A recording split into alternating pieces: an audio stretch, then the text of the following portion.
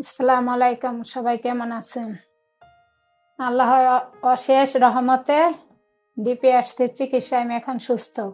আমি কতটুকু সুস্থ জানতে হইলে আমার প্রথম ভিডিওটা দেখতে হবে। চলেন আমার প্রথম ভিডিওটা দেখে আসি। আসসালামু আলাইকুম, আমার নাম ডলি, বয়স ফোর্টি ফোর, মিরপুর এক থেকে। আমি দুই বছর আগে পড়ে গেছিলাম, পড়ে যাওয়াতে আমার এসিএল ছিঁড়ে গেছে, পরে অপারেশন হয়েছে। অপারেশনের পরে তার আগে থেকে একটু পিটমিট জ্বলতো, তারপরে থেকে পায়ে প্রচুর কামড়ানো, পাও ফোলা যায়, পাও ভারী হয়ে যায়, হাঁটতে পারি না। তারপরে অপারেশনের পাঁচ মাস পর স্যারের কাছে আসছি, স্যারের রিপোর্ট দেখে বলছে পিএলআডি হয়েছে। তখন স্যার বলছে, তোমাকে ভর্তি থাকতে হইব বারো চোদ্দ দিন। আমি পড়ে যাওয়ার পর থেকে মনে করেন, সেদিন তো পড়ে যাওয়ার পর উঠছি, কিন্তু রাতে শোয়ার পরে বুড়াতে আমার পায়ের এটা ভার হয়ে গেছে। তারপরে আমি তিন চার দিন পর ডাক্তার দেখাইছি। দেখানোর পর ওনারা পঙ্গুতে ওনারা এক্সরে করছে। এক্সরে করে ওষুধ দিছে, দুই মাস আমি ওষুধ খাইছি, তাতেও আমার পা ভালো হয় না। তারপরে বাইরে প্রাইভেট দেখাইছি প্রাইভেটে দেখে মানে করছে। করার পরে ওনারা বলছে যে পায়ের এসিল ছিঁড়া গেছে। হ্যাঁ আমি তখন হাঁটতে পারতাম না। হাঁটলে মনে হইতো যে আমি পড়ে যাব। আর এখন হয়েছে মনে করেন আমি হাঁটতে যেটুক পারি, আমি একটু দাঁড়ায় থাকতে পারি না। আর আমার পাও প্রচণ্ড কামড়ায়। অপারেশন করার পরই তো আমি যখন পনেরো দিনে হয় নাই, তখন আমি বেডে থাকা সত্ত্বে আমার বেডে যদি আরেকজনে বসে, মনে হয় আমার পায়ে কস করে উঠে এখনও, এখন মনে হয় কেউ যদি বসে বিছনায়, আমি বসা থাকি, মনে হয় জানি আমারে বসলে জাকিটা আমার পায়ে লাগে। তখন থেকে মনে করেন প্রচুর পরিমাণের কামড়ায়। পায়ে কামড়ায়, পায়ের এই গিরু প্রচণ্ড যন্ত্রণা করে। তারপরে এই পায়ের পাতা ধইরা ওই এক নিচ পর্যন্ত ছটফট করে। কিছুদিন পরে ডাক্তারের কাছে গেছি, যখন আমার অপারেশন করছে, যে ডাক্তার ওনারা এবার এমআরআই করছে, করার পর বলছে যে, অপারেশন ভালো, অপারেশনে কোনো সমস্যা হয় নাই। তখন ওনারা আমার অনেক ওষুধ পাতি দিছে, কিন্তু আমার পায়ের সমস্যা কমে না। আমি আগে পড়ে গেতাম, কিন্তু এখন পড়ে যাই না। আমার হয়েছে যন্ত্রণা। ব্যথা ততটা নাই, কিন্তু পায়ের যন্ত্রণা কামড়া নিতে আমি শেষ।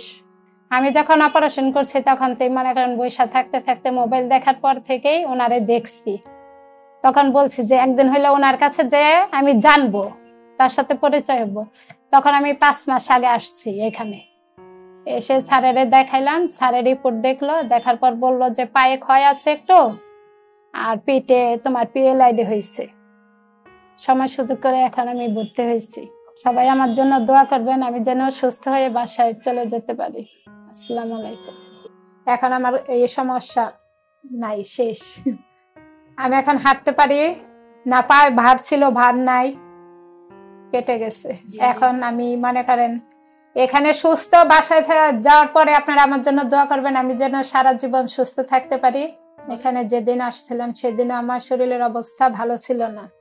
পরীক্ষা দেবার পর স্যার আমার রোগের নাম বলল। আমার রোগটার নাম ছিল পিএলআইডি স্যার আমাকে পনেরো দিনে ভর্তি দিছে। আমি দশ দিনে আল্লাহ রহমতে সুস্থ। আমি যখন আমার কেবিনে আসছি, তখন এক চিকিৎসা দেওয়ার জন্য একজন ফিজিওথেরাপিস্ট আসলেন। সে আমার সাথে কথা বলতো। প্রতিদিন তিনবার থেরাপি দিত। আমার মেয়ের মতোই কথাবার্তা বলতো। আমরা এক কেবিনে তিনজন ছিলাম। তিনজনই মিলে মিশে এক ফ্যামিলির মতন ছিলাম। তাদেরও আলাদা আলাদা ফিজিওথেরাপিস্ট আছে। আমরা তিনজন মিলে গল্প করতাম, নিজেরা নিজেরা ব্যায়াম করতাম। আমাদের মধ্যে একটা প্রতিযোগিতায় কাজ করতো। আমরা কার আগে কে বাসায় চলে যাব ভালো হয়ে? তিনজনের মধ্যে সবার আগে আমি সুস্থ হয়ে বাড়ি ফিরে যাচ্ছি। আমি ধন্যবাদ জানাই শফিল্লা প্রধানকে। কারণ তিনি আমার রোগটা ধরতে পেরেছেন। এর জন্য আমি অনেক তার কাছে কৃতজ্ঞতা। আমার যে ফিজিওথেরাপি ছিল ওর জন্য আমি অনেক খুশি। ওকে আমি অনেক, আমার মেয়ের মতন পছন্দ করি, ওকে ধন্যবাদ জানাই। এখানকার যে স্টাফ স্টাফ আছে নার্স ওরা সবাই ভালো। ডিপিআরসির জন্য আমার শুভকামনা রইল।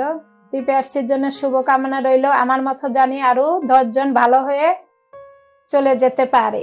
আমার জন্য দোয়া করবেন, আমি যেন সারা জীবন সুস্থ থাকতে পারি, ভালো থাকতে পারি। আমার মাথায় এই রোগ যেন আর কাউকে আল্লাহ না দেয়। সবাই ভালো থাকবেন, সুস্থ থাকবেন। আসসালাম আলাইকুম। আমরা জানি আপনার প্রিয়জন আপনার জন্য কতটা গুরুত্ব বহন করে। প্রপার ডায়াগনোসিস কনসালটেশন পেইন ও প্যারালাইসিস চিকিৎসা, পুনর্বাসন আমাদের সব আয়োজনই সবসময় আপনাদের জন্য। চব্বিশ ঘণ্টা খোলা। আমরা চাই না আপনারা বারবার আমাদের কাছে ফিরে আসুন তবুও আমরা আছি সব সময় সর্বদা আপনাদের পাশেই। ডিপিআরসি হসপিটাল লিমিটেড আস্থা বিশ্বাস ও নির্ভরতায় অবিচল।